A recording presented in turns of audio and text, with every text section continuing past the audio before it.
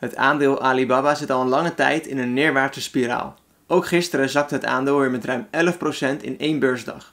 Vandaag gaan we dus kijken naar de beweegredenen achter deze daling en gaan we kijken of het nog een goed moment is om nu in te stappen.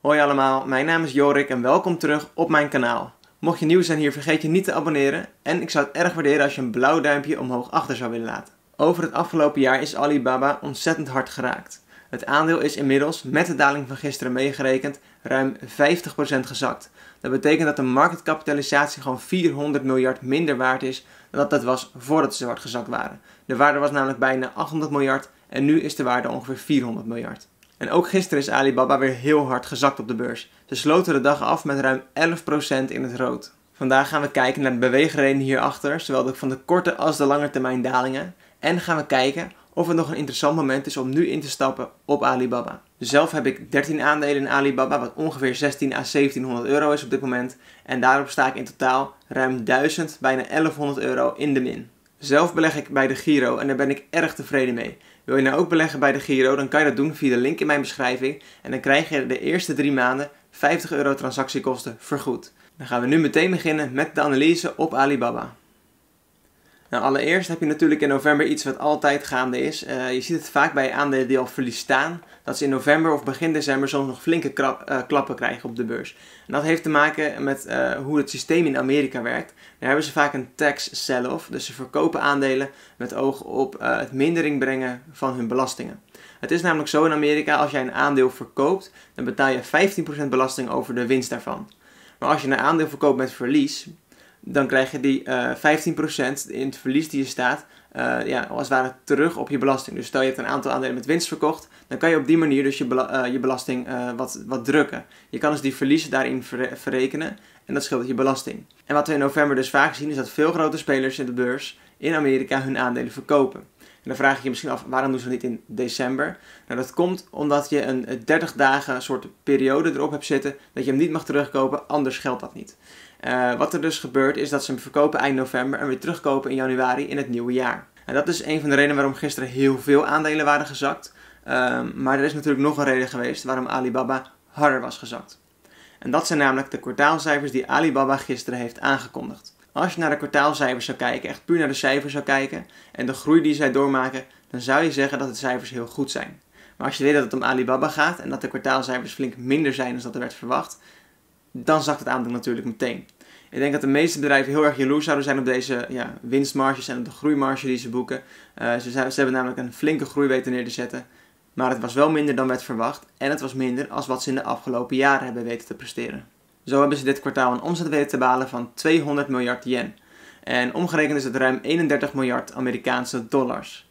Echter is het lager dan werd verwacht door analisten, waar de gemiddelde verwachting op ongeveer 205 miljard lag. Nou, als je het zo bekijkt, is het een relatief kleine daling, want ze hebben wel gewoon year over year 29% meer omzet weten te behalen. Echter is het wel zo dat die 29% omzetgroei het kleinste percentage omzetgroei is die ze weten te behalen sinds de beursgang in 2014. Dus in de afgelopen 7 jaar hebben ze nog nooit zo weinig omzetgroei weten te behalen. Zoals ik al zei, 29% is natuurlijk bizar om te groeien, maar voor een bedrijf als Alibaba, waar de verwachtingen heel hoog liggen, was het toch niet genoeg. De analisten hadden 205 miljard verwacht en ze hebben dus 200 miljard omgezet. Dat is maar een heel klein verschil en toch zakt het aandeel 11%. Nou, dat komt natuurlijk niet alleen maar daardoor, maar ook door de verwachtingen die ze hebben neergezet voor het hele jaar waar ze nu in zitten. Het uh, jaar van Alibaba is een gebroken boekjaar. Dat betekent dus niet dat ze lopen van 1 januari tot 31 december, maar het jaar loopt in dit geval tot 31 maart.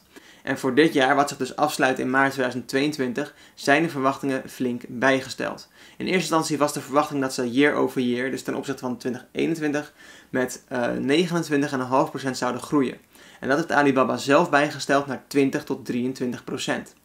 Nou, dat is natuurlijk echt een flinke daling, een flinke daling in de verwachtingen die er zijn. En dat is de voornaamste reden geweest waarom Alibaba gisteren weer met 11% is gezakt. En het bijstellen van die verwachtingen omlaag van Alibaba, dat heeft natuurlijk alles mee te maken met de waarschuwing die ze hebben uitgegeven over een daling in de consumer spending. Uh, ze verwachten namelijk dat de consument in China een stuk minder gaat spenderen het komende jaar ten opzichte van vorig jaar. En daarom zakt die verwachting natuurlijk flink. Dit is dus de reden waarom Alibaba gisteren zo hard is gezakt. Voornamelijk dus uh, de kwartaalcijfers die er zijn geweest, plus een stukje van die tax write-off sellings die ze in Amerika aan het doen zijn, wat zeker niet meehelpt, want bijna alle bedrijven, op een paar grote big tech bedrijven, zijn gisteren heel hard geraakt. Zo waren er heel veel bedrijven in mijn portfolio die gisteren met min 3 tot min 5% stonden aan het einde van de dag. Alibaba stak er echter dus wel uit, mede dankzij die kwartaalcijfers die zijn aangekondigd. Dan gaan we nu kijken naar de redenen waarom Alibaba op de lange termijn ook zoveel gezakt is. Zoals ik al zei, zijn ze dus over de afgelopen 12 maanden met ruim 50% gezakt. Dat betekent dat de marktkapitalisatie van het bedrijf met 400 miljard dollar is afgenomen. Dat is een gigantische daling en we gaan even kijken waarom dat in gang is gezet en hoe dat werkt. Het afgelopen jaar is het ontzettend onrustig geweest op de Chinese markt. Voornamelijk voor de technologiebedrijven of veel softwarebedrijven hebben het heel zwaar voor hun kiezen gekregen. Zo heeft Jack Ma, de oprichter van Alibaba, namelijk vorig jaar in een speech uh, uitgesproken heel erg kritisch te zijn over het financiële systeem in China en over de overheid hoe ze bepaalde dingen oppakken. Als gevolg hiervan was Jack Ma meer dan een maand vermist en heeft het heel lang geduurd voordat hij weer boven water kwam. Nou, wat er in die periode exact is gebeurd met Jack Ma, dat is nooit bekendgemaakt, maar het is in China, dus het zou me niks verbazen als de overheid daar iets mee te maken heeft gehad. En als gevolg hiervan zijn dus veel Chinese bedrijven heel hard aangepakt over het afgelopen jaar. En zo ook uh, Antpay, het bedrijf achter Alipay, wat weer het betaalsysteem is wat Alibaba gebruikt. Nou, dit was een onderdeel van Alibaba, maar is opgesplitst in een apart bedrijf. En Antpay zou dus dit jaar zijn beursgang hebben. Het zou de grootste IPO ooit worden, maar die is dus gedwarsboomd wegens veranderingen in de, in de regels voor dit soort bedrijven in China. Ook dit heeft Alibaba weer heel veel geld gekost en heeft het aandeel niet ten goede gekomen over de afgelopen jaren zijn er dus gewoon heel veel nieuwe regels ingevoerd en heel veel hele strikte maatregelen genomen om dit soort bedrijven een beetje dwars te zitten in China. En dan heb je misschien de vraag na dit verhaal: is Alibaba op dit moment koopwaardig? En dat is een hele goede vraag, maar ook een hele lastige vraag. Zoals ik al zei, als we kijken naar puur alleen de cijfers, de groei, de omzet, de winstmarges, dan zou ik absoluut zeggen ja. Zo heeft Alibaba bijvoorbeeld een winstmarge te maken van bijna 20% op de gehele operatie. Ook zien dat bijvoorbeeld de clouddiensten heel hard stijgen. Uh, ik ben erg fan van cloudbedrijven en ook de clouddiensten van Alibaba stijgen heel erg hard. Zo hebben ze year over year dit kwartaal een groei van 33% weten neer te zetten ten opzichte van hetzelfde kwartaal vorig jaar. En ook als we kijken naar de PE-ratio, dat is de price-to-earnings ratio, wat een hele goede indicatie geeft hoe duur een aandeel precies is, is die slechts 17. En dan zou je echt zeggen, die is echt heel goedkoop. Marktgemiddeld is momenteel 34 en daar liggen ze dus flink onder. Maar dat is dus puur op de fundamentele waardes van Alibaba. Als we dus gaan kijken naar de onrust die er heerst in China, dan zou ik zeggen nee, Alibaba is te riskant en laat hem liggen. Zoals ik net al heb uitgelegd, zijn de cijfers heel goed, maar is in China gewoon heel onrustig voor dit soort bedrijven. Die softwarebedrijven, dus die technologiebedrijven in China, die worden gewoon heel streng aangepakt. Veel maatregelen, veel extra kosten. Ook Alibaba heeft weer een boete gehad recentelijk. En dat soort dingen, dat speelt gewoon heel erg mee. Die onrust in China is gewoon niet prettig om te hebben in een aandeel. Je wilt aandelen het liefst met zoveel mogelijk zekerheid en groeipotentie. En die groeipotentie die heeft Alibaba zeker weten. Alleen de onrust die er heerst in China, ja, die zorgt er gewoon voor dat je een stukje zekerheid mist. En dat kan voor heel veel beleggers niet fijn zijn. Zelf heb ik dus wel nog mijn positie in Alibaba. Uh, ik ben ook niet van plan om op zich om te verkopen. Ik denk wel dat als hij een flinke stijging zou kunnen maken op korte termijn, dat ik een aantal aandelen van de hand doe. Maar dat heeft ook ermee te maken dat ik graag wat meer wil switchen naar een veiligere portfolio, waarin ik meer ETF's toevoeg. Uh, maar in principe zie ik Alibaba voor de lange termijn nog steeds heel veel potentie hebben. Ik denk dat het bedrijf nog heel veel kan groeien, uh, zowel omzet, maar ook als market cap. Wat dus de, de waarde van het aandeel ten goede komt en de prijs doet stijgen. Uh, maar ik vind het erg lastig om een ja of een nee hier aan te hangen of je moet kopen.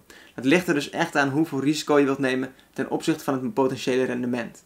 Ik denk dat er heel veel potentieel rendement zit in Alibaba. Alleen het zal me niet verbazen als het nog 1, 2 of 3 jaar heel erg stil kan blijven rondom het bedrijf. Of als ze gewoon op een hele lage prijs blijven hangen. Deze keuze zou je dus zelf moeten afwegen. Vind jij het waard om het risico te nemen ten opzichte van het potentieel rendement wat Alibaba biedt? Persoonlijk heb ik het aandeel een langere tijd en wil ik hem niet met verlies verkopen. Ik denk namelijk dat hij dus kan stijgen. Al zitten er wel risico's aan, maar die risico's neem ik voor lief omdat het een van de twee bedrijven is die ik heb in China van de stuk of 15 in mijn portfolio. Hopelijk heb ik je hiermee kunnen informeren over Alibaba en weet je nu wat beter waar je staat. Ik wil je bedanken voor het kijken van deze video en dan zie ik je weer in de volgende video.